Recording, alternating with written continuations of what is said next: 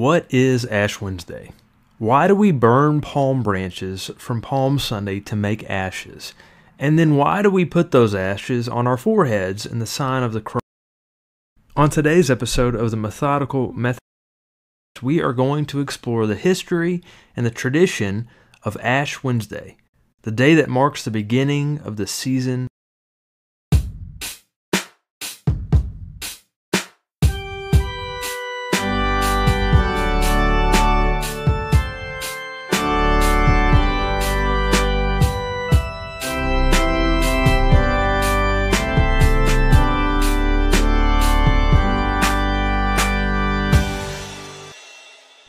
Hey, everybody, and welcome to the Methodical Methodist Podcast. I'm your host, the Reverend Andrew Lay.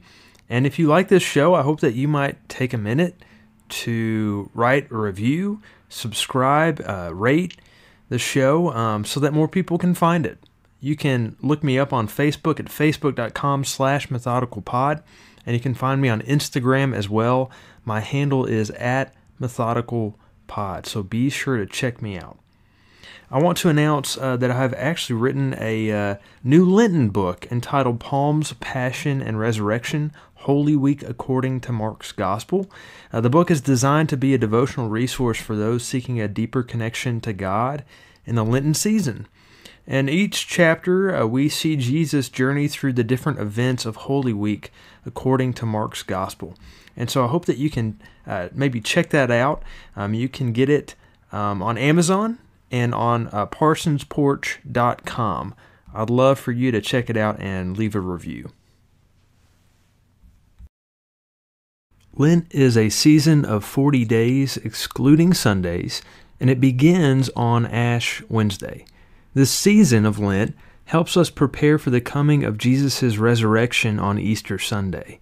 During Lent, we recall first when Jesus went out into the wilderness and fasted for 40 days and was tempted by Satan as he prepared for the beginning of his earthly ministry. As the Gospel of Mark says, and the Spirit immediately drove him out into the wilderness. He was in the wilderness forty days, tempted by Satan, and he was with the wild beasts, and the angels waited on him. Like Jesus' time in the wilderness, we too are invited into a season of fasting as we examine the condition of our hearts and of our spirits. Traditionally, Christians around the world participate in the season of Lent by giving something up, like chocolate or candy or a favorite soft drink, maybe even coffee, if you're bold enough. Um, and they give something up in order to share in the sacrifice of Jesus Christ. Lent not only gives us the opportunity to give something up, but we give something up in order to make room uh, for something new, to add something like prayer and study, to grow closer to Christ in preparation for Easter. Lent is a, a time that is ripe for repentance, prayer, fasting, and almsgiving. It's a time of purification um, and redemption. It's a time of self sacrifice and discipline as we confront our sin, confess our guilt, and seek repentance for our lives. The season of Lent is crucial to our Christian development because it invites us to look inward and ask essential questions of self introspection. Questions like What is in my life that should no longer be in my life? What do I need to change? What steps do I need to take to better follow Jesus? How might I become holy as God is holy? As we navigate these questions, we are invited to reflect on the condition of our hearts. In our exploration, we can realize our need for God's divine grace in our own lives and find assurance that we have indeed been forgiven. As I mentioned, Ash Wednesday is the day that marks the beginning of this season of Lent. We make the ashes by burning the palm branches that are used from the previous year's celebration of Palm Sunday. And Palm Sunday is a day that occurs the Sunday before Easter. And on this day, palm branches are waved around often by young children, sometimes adults, as they parade throughout the sanctuary.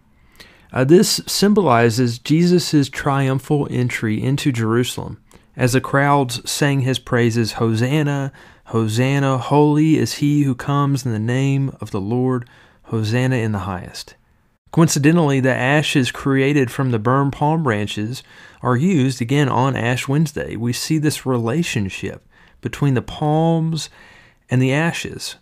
And we see it um, lived out in one of my favorite hymns, Sunday's Palms are Wednesday's Ashes. The song says this Sunday's palms are Wednesday's ashes, as another Lent begins. Thus we kneel before our Maker in contrition for our sins. We have marred baptismal pledges, in rebellion gone astray. Now returning, seek forgiveness. Grant us pardon, God, this day. Ashes have been used as a sign of repentance, mourning, and fasting throughout Scripture.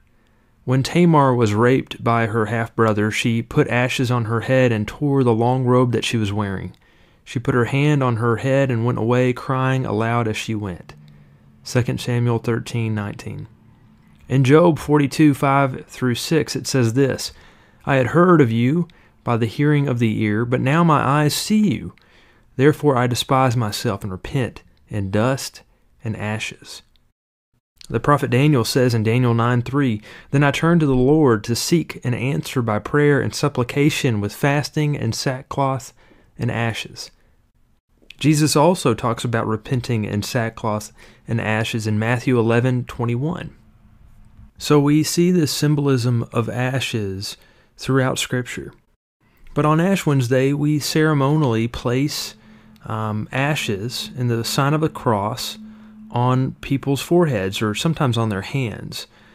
And the minister will often recite the words, repent and believe in the gospel, or they might use the words, You are from dust, and to dust you shall return. On this day, we confront our own mortality, our fragile nature as human beings. And we're also invited to confess our sins before God and receive God's forgiveness. It's an especially somber and stark service dark colors, low lights. And so, as we begin this Lenten season, I want to actually explore five different ways to enter into the season of Lent this Ash Wednesday. Number one is fasting. I know um, I've already talked about this a little bit, but a lot of people give up something for Lent um, just because it's really difficult and they feel like maybe they have to suffer or punish themselves by giving something up that's really challenging. Uh, others might choose to give something up because it's really easy. So you might choose to give up broccoli or asparagus, for example. Um, and still others choose to give up something like dessert or soft drinks as a way to kind of enforce their diet so that they can lose weight. And all of these scenarios are not necessarily bad, but they don't really get at the heart of what this season is all about. You know, giving up chocolate for Lent or soft drinks is not really a bad thing, but I cannot honestly say that it um, always deepens your relationship with Christ. Uh, I cannot honestly say that that when I uh, do things like that, I'm participating in Lent as God intended. I, th- I think it's important to fast something meaningful in order to truly enter into the season of Lent. Uh, one thing that I've heard a lot of people do lately is they'll fast social media. And I think that's actually a really um, great thing to give up. But it it it should be a little difficult, but it shouldn't be a thing where we're punishing ourselves. Um, it should be something that will help us grow in our relationship with God. That's how I think we need to see fasting. Um, what's the goal? The ultimate goal needs to be how can we fast in order to grow in our relationship with God? Uh, the second thing that we can do is prayer. I think it's a very important component of entering into the Lenten season, uh, this discipline of prayer. Prayer is one of the ways that we communicate and connect with God. And so, engaging in daily prayer allows us to draw deeper into the relationship with Christ uh, that we are striving to have as Christ followers. And it's really essentially um, a means of grace that involves us getting to know the God who formed us and created us and breathed life into us. And so prayer is a really important thing that we can do. Uh, number three is, is study.